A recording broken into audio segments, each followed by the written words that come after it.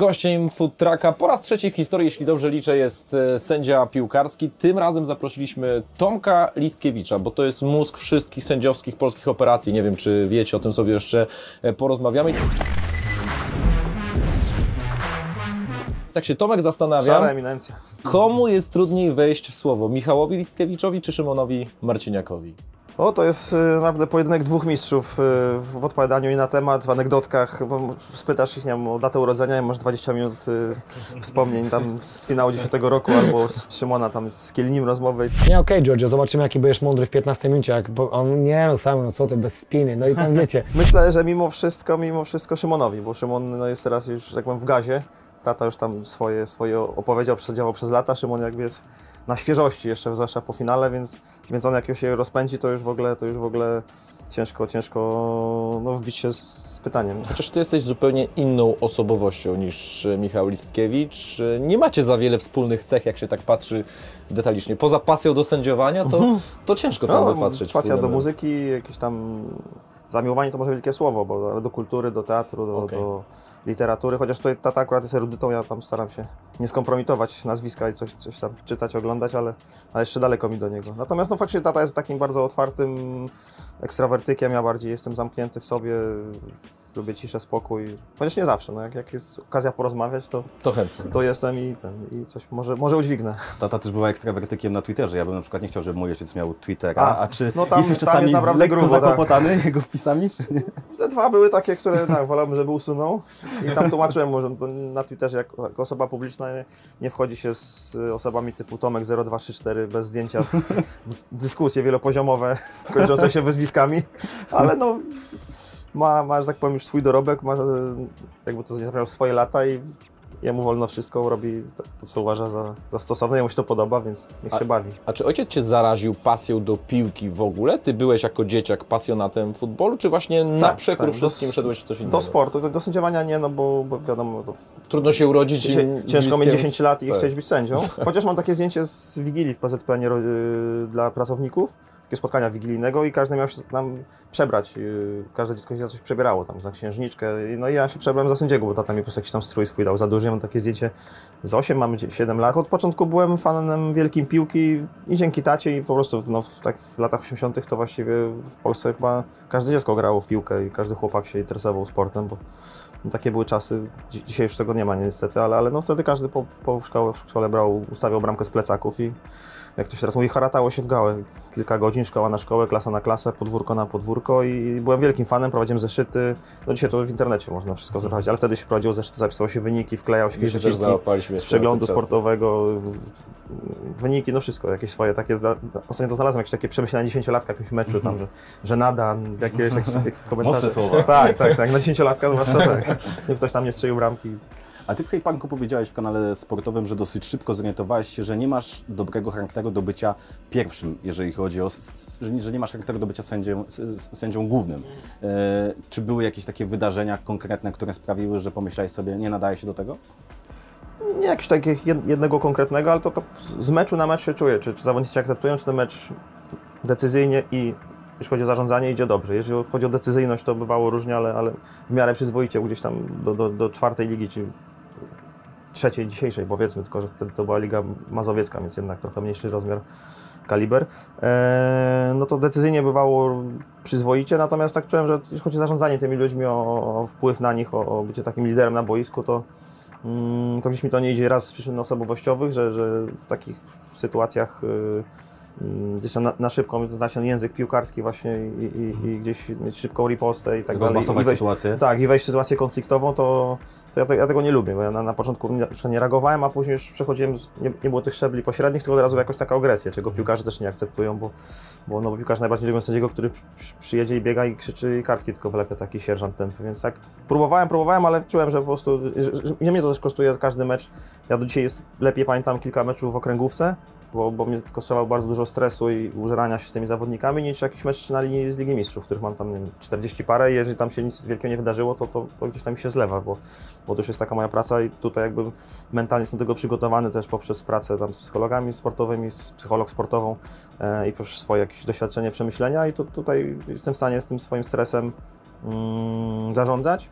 a tam mnie to tyle kosztowało, no, że po prostu czułem, że, że, że, że tutaj nigdy mistrzem w tym nie będę. I Do tego, do tego wątku, y, jeżeli chodzi o nastawienie mentalne, jeszcze pewnie wrócimy, ale czy to nazwisko na początku ciążyło Ci, czy pomagało, jeżeli chodzi o Twoje wejście w środowisko sędziowskie? I pomagało, no bo, bo wiadomo, że, że wszyscy statę znali w środowisku sędziowskim, więc szybciej dostałem szansę, żeby z kimś pojechać jako asystent na czwartą ligę, czy na, nawet na trzecią. E, tylko, tylko jakby no, dlatego było nas tam kilkudziesięciu właśnie młodych chłopaków po kursie, no wiadomo, że ktoś tam mnie wziął, żebym się sprawdził, no dzięki nazwisku, więc, więc te, te, pierwsze awanse u mnie były bardzo szybkie właśnie między innymi dzięki temu, że mm, no, że wszyscy tatę pamiętali, nazwisko, nazwisko to pomagało, ale było obciążenie, no bo jak coś nie poszło, to, to z drugiej strony oczywiście wszyscy mówili, on nepoty za uszy go ciągną, a on nie umie, więc trzeba było bardziej się starać. Dla mnie to było większe obciążenie też, że wiem, że muszę, muszę pokazać podwójnie jeszcze i dla siebie, no i dla nazwiska i no po prostu, żeby, żeby wstydu nie było, że, że przyjechała, nie, nie, nie potrafi, więc to oba te czynniki, i, i pozytywny, i negatywny miały miejsce, ale na początku zdecydowanie ten, ten pozytywny, czyli no, to, to, to, to pomagało po prostu.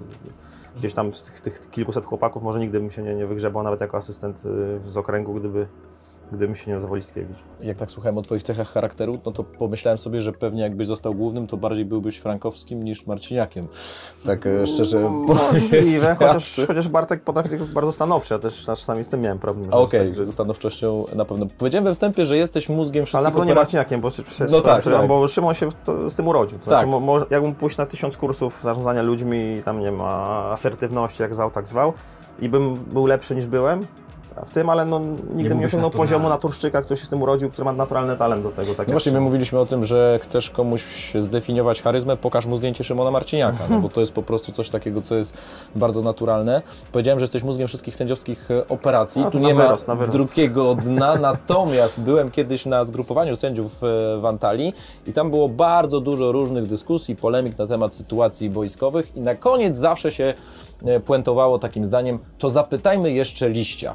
I O, aż rzeczywiście, tak to czy to, no ja, ja to Tak? tak wtedy Tak. zaobserwowałem i tak się zastanawiam, może czy nie jesteś w 11. pewnym sensie taką, nie chcę powiedzieć wyrocznią, ale jednak takim gościem, który ma to wszystko przerobione, przekminione i dysk twardy zapełniony. No, jeśli chodzi o artykuł 11 spalonego, to faktycznie my tu w Polsce w ogóle jesteśmy mocno, mocno wyszkoleni jeszcze z czasów y, prezesa Przesmyckiego, przewodniczącego Przesmyckiego. Tych klipów oglądaliśmy setki, tysiące.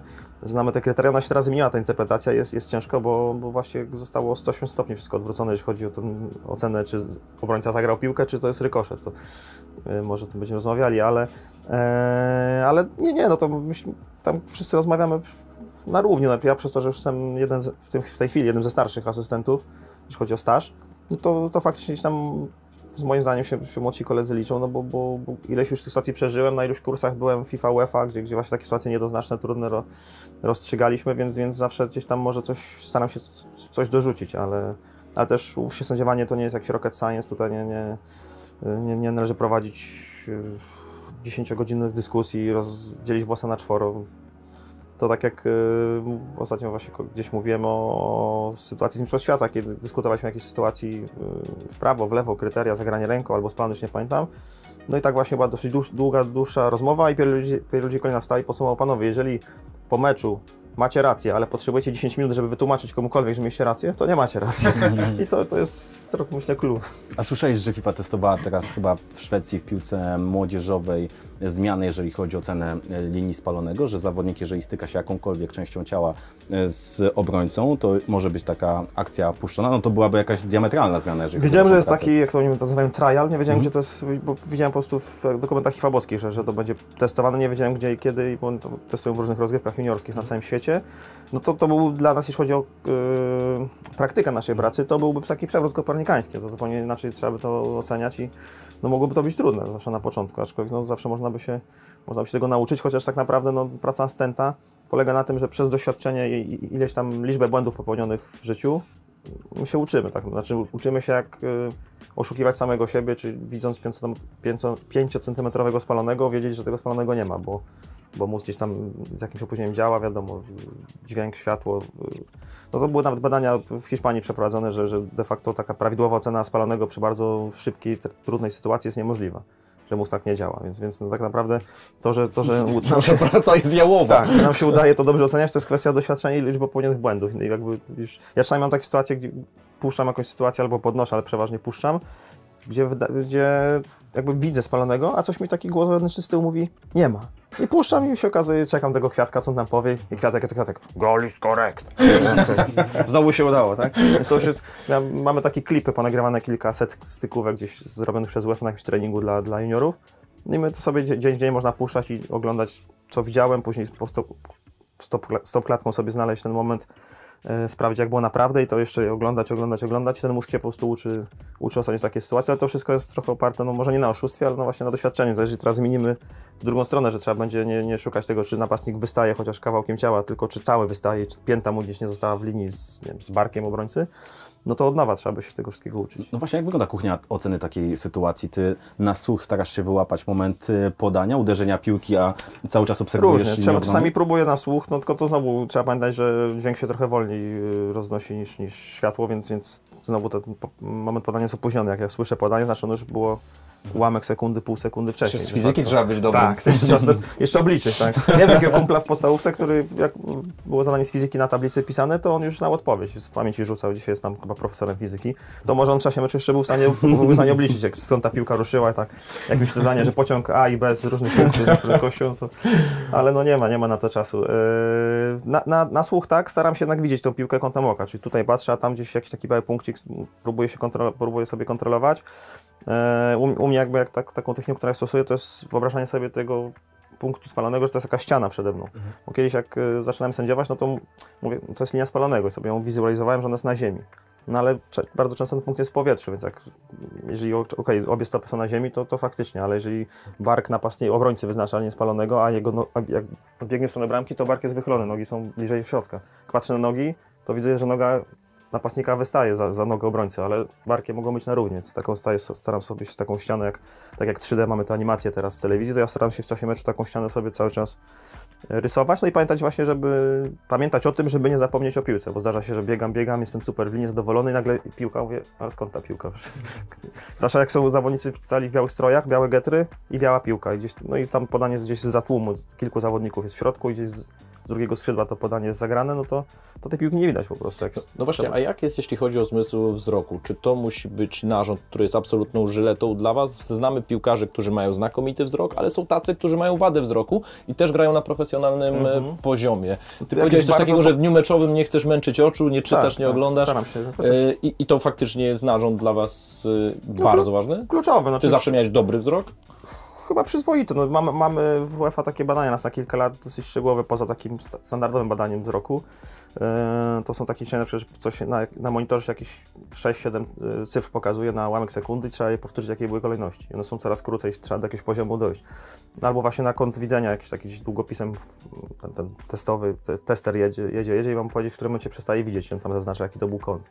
I takich tego typu ćwiczeń jest kilkanaście do, do przejścia i na każdym trzeba jakiś poziom osiągnąć i to jest właśnie szybkość akomodacji wzroku, która tam w życiu takim codziennym może jest nieprzydatna, a w meczu, jeżeli ja muszę patrzeć 20 metrów przed siebie i nagle przenieść głowę na piłkę i, i ten wzrok długo była ostrość, no to, to miałem problem, nie widział po prostu jakiegoś faulu, czy piłka wyszła i tak dalej, więc trzeba mieć naprawdę bardzo dobry wzrok, no, można mieć jakąś delikatną wadę, nie wiem, można, można też korekcję zrobić, są sędziowie, którzy sędziują w soczewkach, zresztą tutaj prezes Przeszmyski tutaj tępił za przeproszeniem takich sędziów, bo twierdził, że Jak wypadnie? że, że soczewki to jednak no, niby korygują, ale jak jest światło z, z Jupiterów, to ono się może odbić. Coś takiego wymyślił, nie wiem, czy miało podstawy. Na...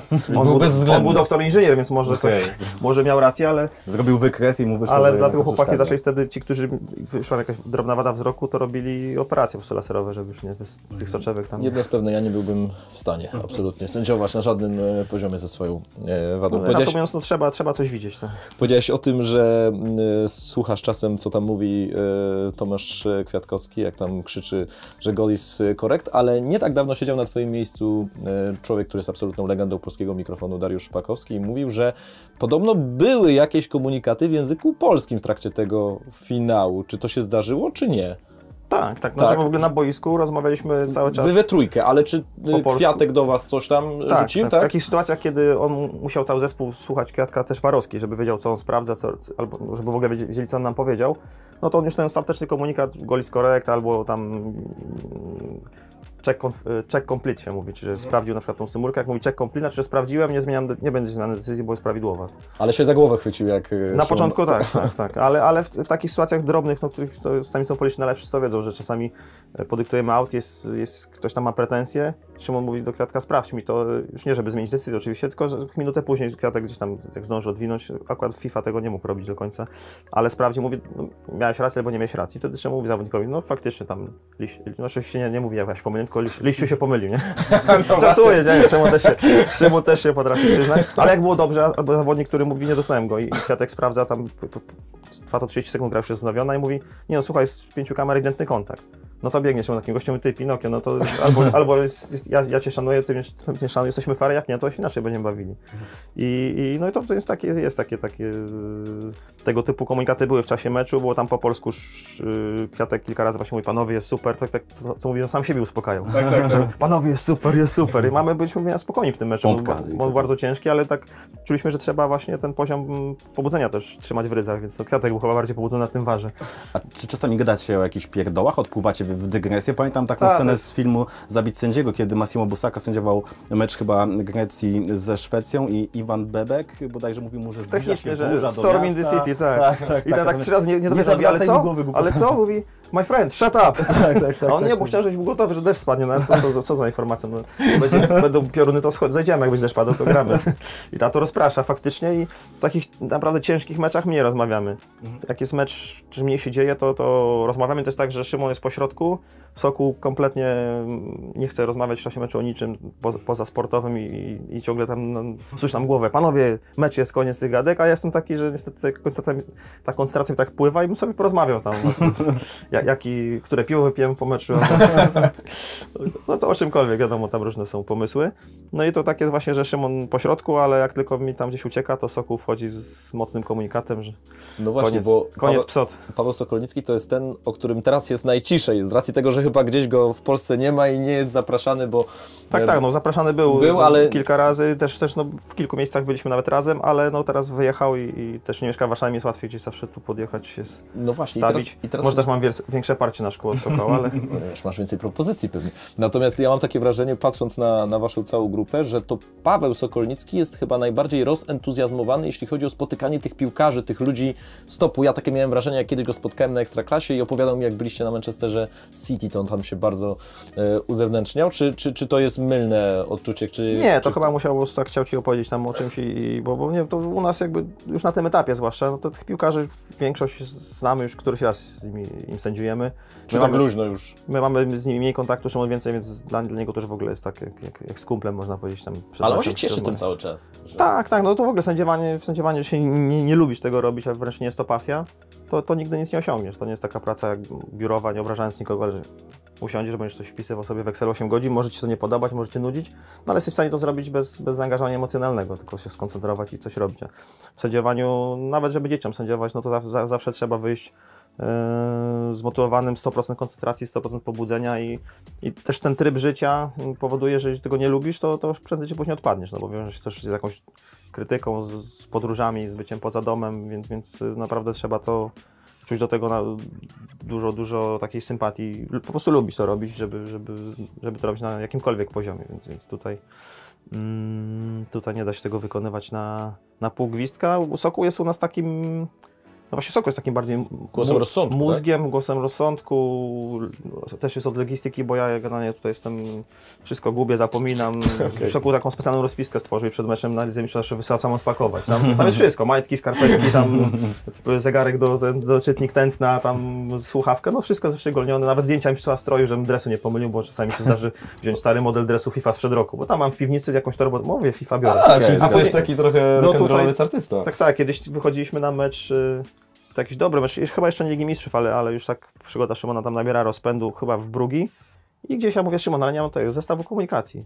I w całej szacji tam już, już ten dzwonkiem, ten mecz dyrektor, bo jak, jak my się spóźnimy albo drużyny, to, to on z UEFA czy z FIFA, no z UEFA wtedy dostaje, dostaje sporą reprymendę, bo, bo to wszystko wiadomo musi być co do sekundy na czas. I, a ja szukam tego zestawu, się okazuje, że tam na, na szafce go położyłem po, po rozgrzewce, zapomniałem i Hubert Siewicz znalazł gdzieś tam przez przypadek, więc jeszcze się musiałem ubrać. No takich, ale takich sytuacji było mnóstwo, bo że Getry nagle już, już wychodzimy, a ja Getry mam tylko jedną, bo, bo druga w fotelu została przy, przy przepakowywaniu.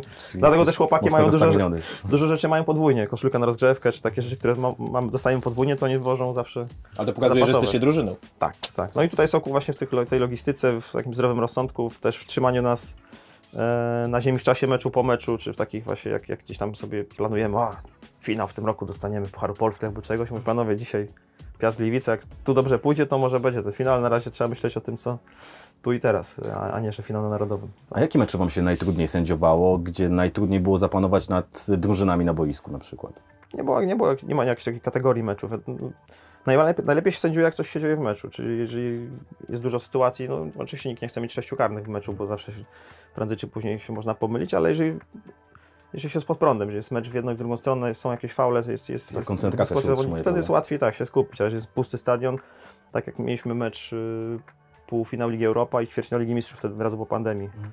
Y, na pustych stadionach, no to półfinał Ligi Europa duże wydarzenie dla nas, nawet dzisiaj by było, a wtedy, no to jeszcze dwa lata temu tym bardziej. Mm, ale jakoś tak, no w ogóle zero, zero presji, zero takiego pobudzenia właśnie. No, no, fajnie jak są pełne trybuny, jak śpiewają, jak krzyczą, nawet jak buczą na, po decyzjach, no to to, to jest, y, to wtedy się zupełnie, zupełnie inaczej sędziuje. No piłkarze też wolą grać przy światłach i wieczorem niż, niż o 12 i, i, zapach, i zapach kiełbasek.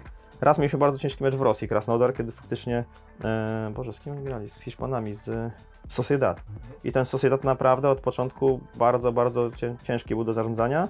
I jak na poziom, który normalnie Szymon ma kontaktu z zawodnikami, to tam był ten szczebelek niżej cały czas i naprawdę walczył o to, żeby to utrzymać, a już nie było mowy, żeby w ogóle wejść na jakiś poziom normalny, gdzie, gdzie wiadomo, że piłkarze Szymona lubią, uśmiechają się, przybijają piątki. To, no to był ważny mecz, bo to był mecz playoff, ch- chyba o Ligę Mistrzów wtedy.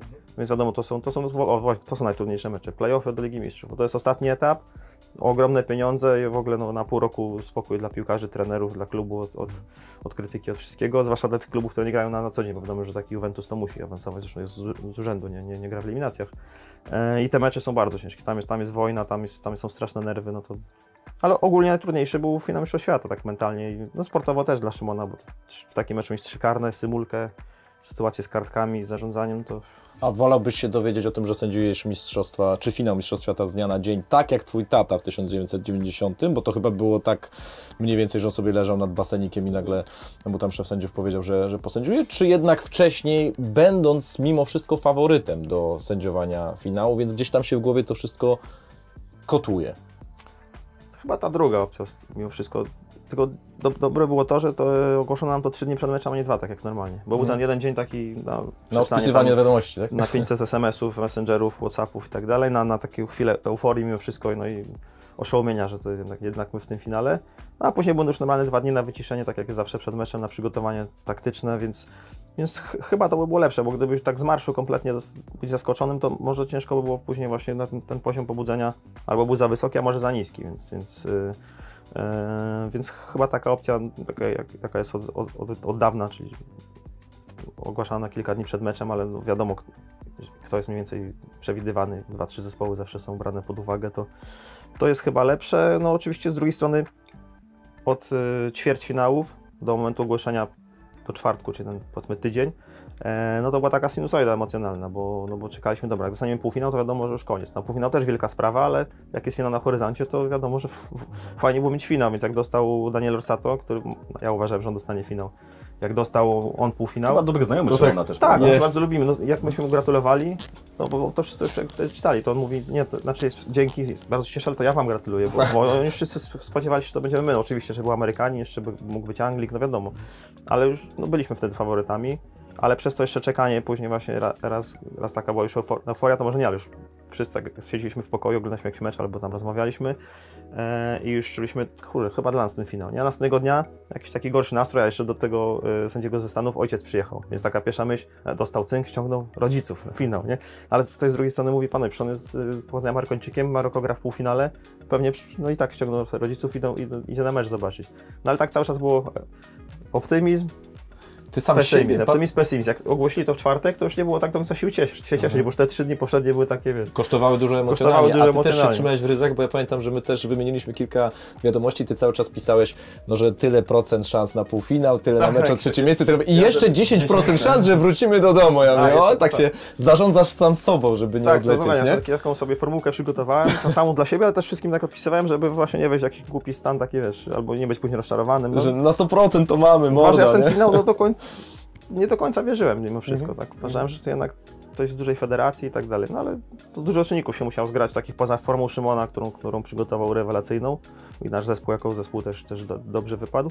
No to, to, to jeszcze dużo czynników od nas niezależnych. Taka geopolityka, kto wszedł do finału, to, że mieliśmy te dwie drużyny wcześniej i, i dobrze nam poszło, a, a w innych meczach bywały kontrowersje, zwłaszcza w meczach Argentyny. No gdzieś, gdzieś tam to wszystko nam pomogło. No to, to, tam, tam, tam są tysiące czynników, my nawet nie wszystkich wiemy, które, które decydują o takiej... No ale piękna historia, na którą obsadzie. zasłużyliście, więc to są wielkie gratulacje i duma w ogóle wszyscy No to jeszcze nie docierał, tak. dumni. Muszę Ci powiedzieć, że mainstreamowa Polska cała była dumna, bo, bo tak wiele To tu byłem zaskoczony o tym tym. dyskutowało, Dostałem na przykład y, SMS od y, po- podróżnika i pisarza Tomka Michniewicza, którego raz w życiu spotkałem no, w ramach akcji charytatywnej, gdzieś tam na Legii takiego chłopca e, niepełnosprawnego wprowadzaliśmy na boisko. No taka, taka była akcja przez Tomka organizowana charytatywna. Yy, I, no, i on mi napisał SMS-a i takiego długiego, że w ogóle się wzruszył, prawie się popłakał, że jest dumny i tak dalej. To, gdzie to wiadomo, no, sędzia jest od sędziowania, to nie, nie jest człowiek, któremu się kibicuje, więc tak. I później po powrocie też odczułem właśnie, przez, nawet przez zainteresowanie mediów, ale jakieś y, wiadomości od zwykłych kibiców na, na Messengerze, na, gdzieś tam na Instagramie, jak ktoś mnie znalazł, naprawdę czułem, że, że ludzie nam kibicowali i że są w jakiś nawet sposób dumni. To, to Byliśmy głodni piękna sprawa. sukcesu, wiesz, Jeszcze dzisiaj, tego dzisiaj mamy, nie wiem, nie dała, który, ale no jeszcze do, do, do początku ligi, ile 10 dni, to po pierwszym meczu pryśnie, ale, ale jeszcze chwilę, dlatego jeszcze korzystam z zaproszeń medialnych. Ale właśnie widzisz, bo mówiłeś, że dużo pracy Pocieszę się. musiałeś włożyć, jeżeli chodzi o to zarządzanie stresem. Czy przed takim meczem finałowym miałeś jakieś e, specjalne sesje jeszcze z psychologiem, czy sam starałeś się sobie wszystko w głowie poukładać, żeby dobrze... Nie, już byłem przygotowany przed Rosją, pracowałem właśnie zresztą notabene z y, Darią Abramowicz, czyli, Mhm. czyli no, psycholog y, od Igi Świątek między innymi. E, I ona przed Mistrzostwem Świata w Rosji mnie doskonale przygotowała. Jakby, faktycznie ona mnie to tłumaczyła, że to będzie tak jak dla sportowca w innych dyscyplinach Igrzyska Olimpijskie. Gdzie się przeważnie płaci frycowo, gdzie jest wszystko jest nowe, wioska olimpijska, miesiąc poza domem, wielkie, wielkie zawody i tak dalej, że, że po prostu ten stres będzie na pewno większy niż normalnie i byłem na to przygotowany. I faktycznie w tym meczu Argentyna-Islandia, jak zagrali hymn, to mi się nogi ugięły. Taka myśl, że mówię, przyjechałem tam zaraz sędziować, a jak nie dojdę nawet do bramki, siatek sprawdzić, tak, mi się nogi trzęsą. Ale wiedziałem, że tak będzie, w związku z tym też, też znałem dzięki, dzięki współpracy z, z panią Darią jakieś metody uradzania sobie z tym stresem, techniki oddechowe, jakiś tam dialog wewnętrzny, takie, takie rzeczy. I tutaj przed finałem już właściwie nie, nic dodatkowego nie musiałem robić, bo też wiedziałem, że z jednej strony cały czas rozmawialiśmy przez 3 dni, panowie, to jest normalny mecz, prostokąt y, tam 68 na ileś tam wymiary boiska, nie pamiętam, 105 chyba. Nie, nie zdam Klasyczne- dobrze, Klasyczne to jest 105 na 68. Tak. Tak. Ale ten temat, który Kuba wywołał, y, mam wrażenie, że nie wybrzmiał do końca, o tym Twoim stresie przedmeczowym, bo pewnie był moment, w którym dojrzałeś do tego, że potrzebujesz tej y, pomocy i z czym się to wiązało? To znaczy, jak ten stres się przejawiał u Ciebie jako sędziego, który już jednak sporo poważnych meczów posędziował? Tak ogólnie mówisz, jak Tak. w tym momencie jak na tym pracowałem, nie, nie, że nie, wcześniej, samym finałem, wcześniej. Tak, wcześniej właśnie przed współpracą w ogóle No tak, z Darią. Wiesz, przykład- no właśnie, może paraliżem to wielkie słowa, ale takim bar, bardzo dużym spięciem przed meczem. Czyli wszystko fajnie, rozgrzewka, jestem gotowa, a później jak wychodzimy na boisko, no to nagle czujesz właśnie nogi z waty, przyspieszony oddech i, i, i, i też wtedy no, czujesz po prostu, drży, że, jak podniesiesz chorągiewkę. że, też, że jak rzeczy na boisku się dzieją, no to tak zawężone pole widzenia, że, że wszystko się dzieje jakoś szybko, tak, no to, to, to, to, to są takie oznaki, że, że gdzieś ten poziom stresu przytłoczy, przytłoczył mentalnie. No i to też oddział, oddziałuje przecież, oddziałuje na, na, na ciało. Na ciało. Tak. Mm, No i kilka razy jakby gdzieś tam przez to błąd popełniłem, albo sam czułem po prostu, że no, w sędziowania, kocham sędziowania, a kosztuje mnie to tyle, że ja po meczu jestem wypompowany, po zwykłym meczu ligowym na przykład. Tak mentalnie. I, no i znałem, że warto nad tym popracować i to akurat u mnie to ustrzał w dziesiątkę, bo też, też przez to właśnie jestem taki trochę roztrzepany i, i tak dalej, no to miałem problem z koncentracją, że dwie, dwie świetne decyzje, nagle w jakiejś mega pro- prostej decyzji, pół metra zapasu, a ja się pomyliłem, bo, no bo właśnie myślałem tam o tym, że czy, czy zjem schabowy, czy mielony. A czy jako asystent jesteś w stanie się odciąć od trybun, bo jednak jesteś najbliżej kibiców? Czy często ci się Od zdarzają takich- sytuacje, że prowokują, wyzywają? Jakoś bardzo często nie, aczkolwiek bywa takich trybun śpiewających, nawet jak cały, cały stan jakiegoś wyzwiska na sędziów śpiewa, to ja- jak najbardziej, bo to wiadomo, to jest taka koncentracja tunelowa przed sobą bardziej. E, fajnie jak coś się dzieje, jak jest głośno, ale ja, ja tego nie rejestruję i nie, nie myślę o tym, co oni śpiewają. Ale jeżeli się trafi jeden, jeden głos z tyłu, gdzie trybuny są dosyć blisko, nawet w Westerklasie przeważnie, e, który indywidualnie do mnie coś krzyczy, no to wtedy gdzieś tam trzeba się próbować od tego odciąć, ale, ale nie jest łatwo. Kiedyś w Gliwicach jakiś mnie tam nie po, polubił kibic w drugiej połowie, zszedł tam, tam akurat była brama przeciw, e, Jest taka taka ewakuacyjna i tam malutka. więc flagi nie mogą wisieć, więc on tam zszedł, stanął i miał do mnie za 3-4 metry i cały czas krzyczał y, ty rudy H. No ja mówię, dobra, to H tam H, ale rudy, no, tak, nawet w- później szedłem, mówię tak do tego, do, do lustra patrzę, co może jak światło dzień padało czy coś, bo siwy jakby powiedział tam, tam. więc i, i, i, tak, i tak mi świdro, świdrował tym swoim głosem, że taki miał dziwny głos, taki wysoki, piszczący, który ciężko było zignorować. I nawet się chciałem odwrócić, bo on tak strasznie prowokował tam coś tam, ale mówię, może to jakiś zwarec z, kam- stoi z telefonem, nagrywa, ja mu tam pokażę fakersa, bo nie wytrzymam No czy tak, coś tak. i, I na TikToku i stracę kontrakt przez jakiegoś tam, za przeproszeniem, frajera. No tak, tak, tak. Ale, ale nie, no są, są kibice, którzy coś tam krzyczą. Tam w, Ang- w Anglii też są trybuny bardzo blisko, a w Anglii nie ma w tej chwili takiego dopingu, że cały stadion, no, cały mecz kibicuje. Tam jak się nic się dzieje w meczu, to, to słychać jak chipsy za tym otwierają. tak. I no i zdarzy się taki gościu, który tam e, krzyczy tam fucking Polish wanker, albo coś tam. A, że nawet przygotowany jest, wie, że Polacy Tak, tak, sędzioją. oni wiedzą, oni wiedzą. tak, tak. Ostatnio tak miałem w czasie meczu, że ktoś musiał mieć znajomego, jakiegoś Polaka znajomego w Anglii, bo zaczął tylko tam you fucking Polish coś tam, a później tak co, co ileś minut już jakieś polskie słowo tam, kuła, i, tak, tam, i później już jakieś tak całe zdanie zbudował tam, spalony idioto, coś takiego. Więc musiał albo wpisywał, albo w translatorze, ale miał niezłą wymowę, więc myślę, że ktoś mu przysyłał jakieś nagrania, wiesz. I on blisko siedział i cały sal, tak mnie to rozbawiło, że chciałem się tam mówię, odwrócę, ale dobra, tam, to, później będę w jakimś tabloidzie. Piękne. Zastanawiam się, co będą kibice mówić, jak zaczniecie sędziować ekstraklasy z powrotem po Mistrzostwach Świata i kiedy padnie to pierwsze, wiesz, że wam odwaliło, albo że A, sąd, no to, albo to, coś. to To już często tam jest właśnie sędziujemy i tam Szymon nie słyszy, co krzyczą tacy pojedynczy kibice, ale tam ja, ja słyszę, jak tam e, Marciniak, to nie Barcelona, zacznij biegać. tak. I no faktycznie też, to też dla nas jest lekka motywacja teraz, żeby wiadomo, że jak się, zaczniemy się mylić, no to powiedzą, o, wrócili z przez świata, po, pobiegali po telewizjach, a, a gdzie forma sędziowska, więc, y, więc taką mam motywację, żeby też nie dawać powodu do szydery. Ale sami dla siebie no też trzeba trzymać fason oczywiście. Zwłaszcza, że akurat wiesz, w Polsce ta dyskusja o sędziowaniu z kolejki na kolejkę jest taka bardzo intensywna, powiedziałbym, bo się bardzo dużo dyskutuje o tych sytuacjach, więc tutaj Sporo, sporo. No, będziecie może trzymani. I tak chyba mniej niż w Hiszpanii czy we Włoszech.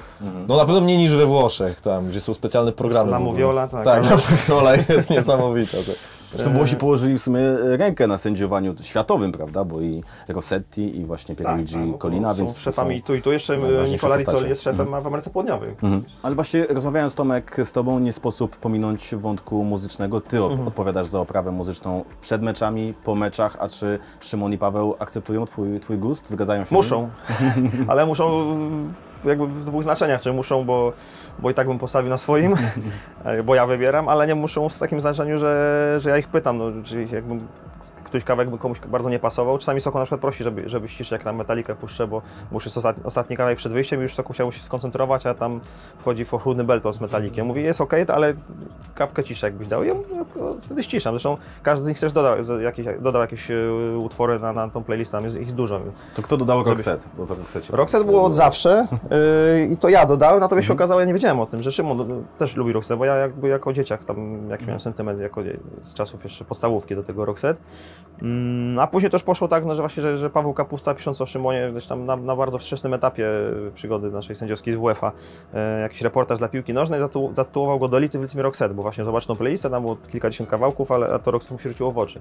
No i tak nam się to spodobało, że Dolity w rytmie Roxette, że już mówię, to jedno Roxette zawsze musi na tej, na tej playliście, playliście zostać, ale to taki w sumie najlżejszy kawałek z tych, które są. Reszta to, to takie gitarowe granie raczej, raczej riffowe. A, nie, przepraszam, Doktor Alban ostatnio dołączył, bo to O, lata tak 90. no, coke, no rozrywkowo. coke, tak, także, Tak, żeby właśnie te bioderka rozruszać, żeby wiesz, tak, przed, ruszyć, tak. przed, przed pracą Ruszyć na, stawy. na linii. E, Ty jesteś starym trójkowiczem, dzisiaj wielkim entuzjastą Radia 357, który jest spadkobiercą takim mentalnym e, starej trójki E, i tak się zastanawiam, czy miałeś w przeszłości jakieś swoje próby, takie powiedziałbym muzyczne, tak? Czy gdzieś tam w jakimś zespole się zdarzyło, czy to tylko jest słuchanie i... Nie, nie, w liceum się uczyłem grać na gitarze, ale, ale okazało się, że tutaj talentu poskąpił stwórca i z tabulatury byłem w stanie się nauczyć grać tak trochę zawsze jak małpa, ale, ale no, ni- nic swojego mnie nie wymyślił, więc tam do dzisiaj próbuję trochę brzdąkać tam przy ognisku, ak- akordy jeszcze, jeszcze pamiętam, ale, ale nawet do założenia zespołu nie doszło. Tam sam, sam dla siebie coś próbowałem w pokoju tam nagrywać, ale, Ale redakcja Radia 357 to była dumna jakby ich redaktor. Tak, tak, e, tak. No, sędzia znają, nazwali mnie nawet ambasadorem. Tak, bardzo, tak. bardzo miło, chociaż jestem tylko skromnym patronem, czyli wspierającym, bo,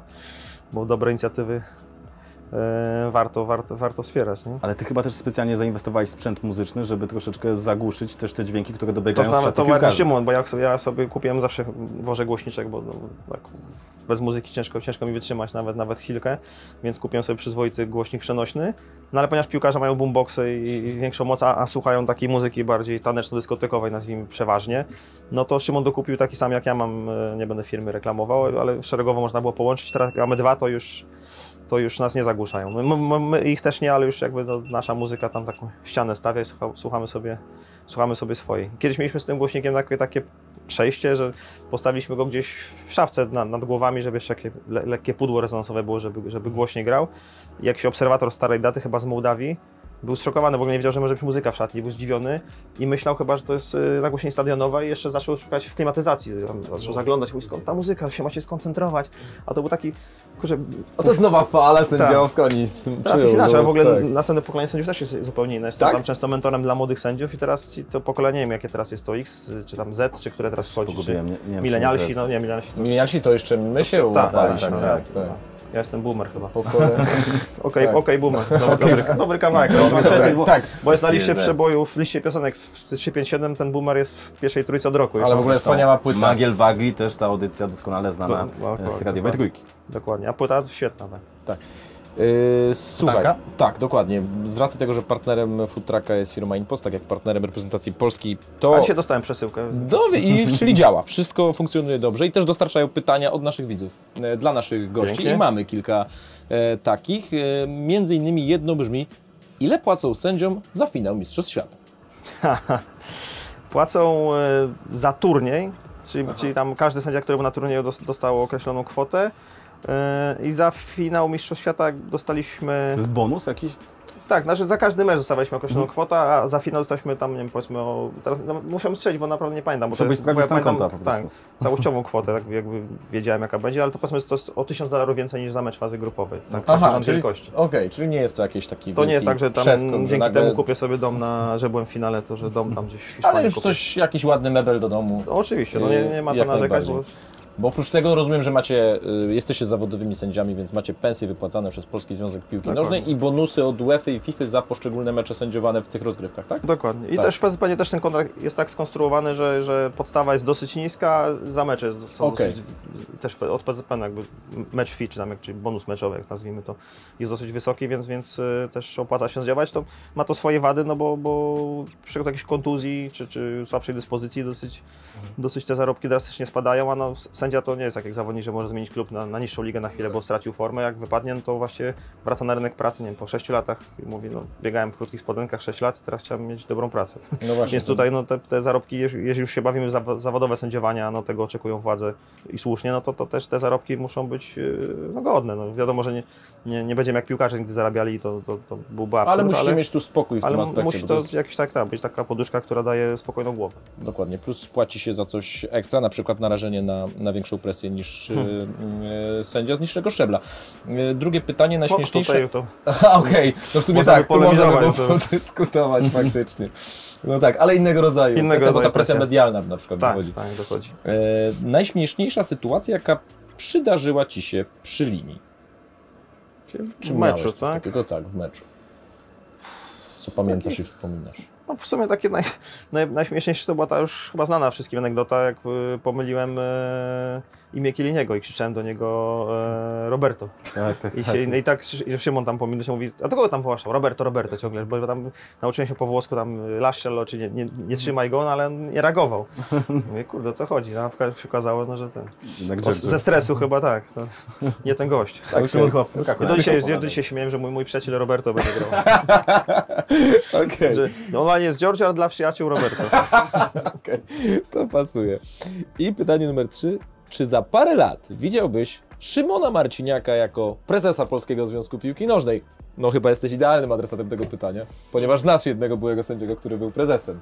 Ja nie wiem, czy Szymon by chciał, natomiast... No gdzieś powiedział podobno. Sam tak? się zaanonsował. Jak, jak musiał pom- na pomidora odpowiedzieć tak lub nie, to wiadomo, jak Szymon jest bardzo pewny siebie i słusznie, bo fałszywa skromność to, to, to taka nasza polska trochę specjalność, ale niepotrzebnie, to powiedział, że tak, że, że będzie, no bo, bo pewnie tak czuł. No, jeżeli by chciał, to przez to, co widział, ile, w jakich strukturach działamy, ile, ile jeszcze lat, mam nadzieję, przed nami bycia właśnie tam na, na świeczniku, nazwijmy, no na pewno był dobrym kandydatem, żeby działać w strukturach sportowych y, w jakiejkolwiek roli. No, na pewno nie, nie trzeba zaczynać od, od bycia prezesem, ale doświadczenie w zarządzaniu ludźmi i to, że właśnie to, całą tą piłkę i, i jej struktury i sposób funkcjonowania znamy od środka, to na pewno byłaby, byłaby zaleta.